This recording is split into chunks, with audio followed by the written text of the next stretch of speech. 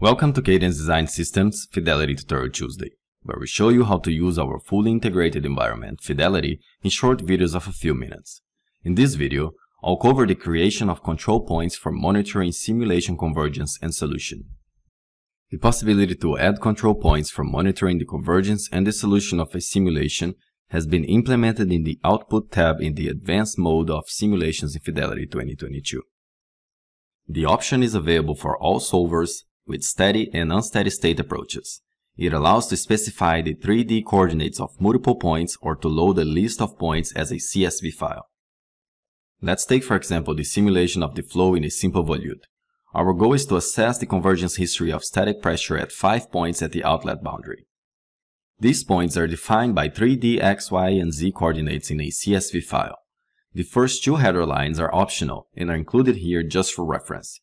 The other lines contain the coordinates of the 5 points separated by commas. We can import this file in Fidelity using the Upload button next to Control Points coordinates. The simulation can now be launched and all primitive fields will be available in the monitor for each of the control points. For that, set the quantity type to control points and select the desired variables to be monitored.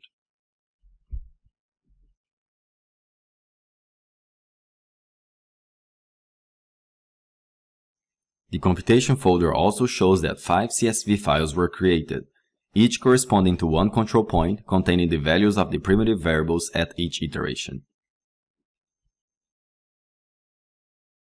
Thank you for watching. If you liked this video, be sure to click the thumbs up button to subscribe to our channel for more upcoming content like this. If you have any questions or suggestions for future videos, please drop us a line down below or connect with us on LinkedIn, which is linked in the description.